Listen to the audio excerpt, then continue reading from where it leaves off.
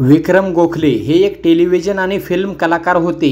ते रंगमंच कलाकार असून फिल्म निर्देशक पण होते. त्यांच्या करिअरमध्ये त्यांनी अनेक हिंदी व मराठी फिल्ममध्ये काम केले आहे.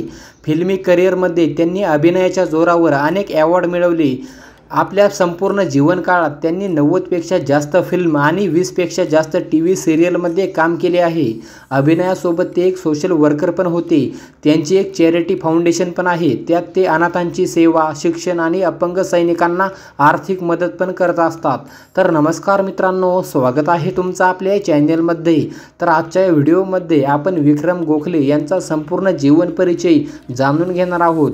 तर व्हिडिओ आवडल्यास व्हिडिओला लाईक आणि चॅनेलला सबस्क्राईब करायला बिलकुल पण विसरू नका. विक्रम गोखले यांचा जन्म चौदा नोव्हेंबर एकोणीसशे पंचेचाळीस साली पुणे येथे बॉम्बे प्रेसिडेन्सीमध्ये झाला.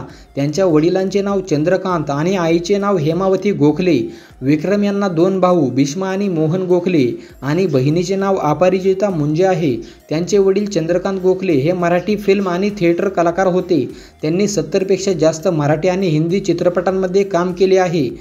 गोखले हे चित पुण्यामध्ये सुजाता फार्म नावाची एक रिअल इस्टेट चालवित होते. विक्रम यांची पणजी दुर्गाबाई कामत या एक भारतीय स्क्रीनमधील पहिली अभिनेत्री होत्या आणि त्यांची आजी कमलाबाई गोखले या सुद्धा भारतीय सिनेमामधील पहिली बालकलाकार होत्या. बारा मे एकोणीसशे पंच्याहत्तर साली विक्रम गोखले यांनी वृषाली गोखले यांच्याशी लग्न केले. त्यांना दोन मुली असून एकीचे नाव निशा केकर यादव आणि दुसरीचे नाव नेहा गोखले असून दोघेही विवाहित आहेत. स्प्रिंट आर्ट क्रिएशनद्वारा विक्रम गोखले यांनी दोन हजार दहामध्ये स्वतः एक मराठी फिल्म आघात निर्देशित केली होती. ही फिल्म डॉक्टर नितीन लंगावरे यांनी लिहिली होती आणि त्यात डॉक्टर अमोल कोल्हे मुक्ता बर्वे आणि अन्य कलाकार यांनी काम केले होते.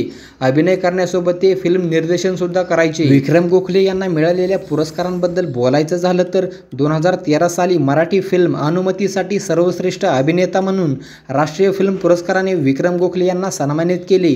दोन हजार पंधरा साली Vishnudas Bhave life time achievement award देण्यात आला.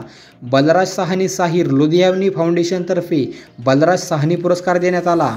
दोन हजार सतरा साली हरिभाऊ साने जीवनगौरव पुरस्कार डिसेंबर दोन हजार अठरा साली पुलोत्सव सन्मानित केले गेले. स्वतःच्या काही आजारपणामुळे दोन हजार सोळा साली जरी अभिनयातून संन्यास घेतला तरी ते नवोदित कलाकारांना ॲक्टिंगची ट्रेनिंग देण्याचे काम करत होते.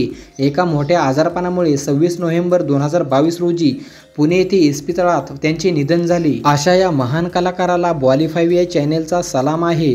तर मित्रांनो आजच्या व्हिडिओमध्ये फक्त एवढेच. मी आशा करतो की तुम्हाला हा व्हिडिओ आवडला असेल. धन्यवाद.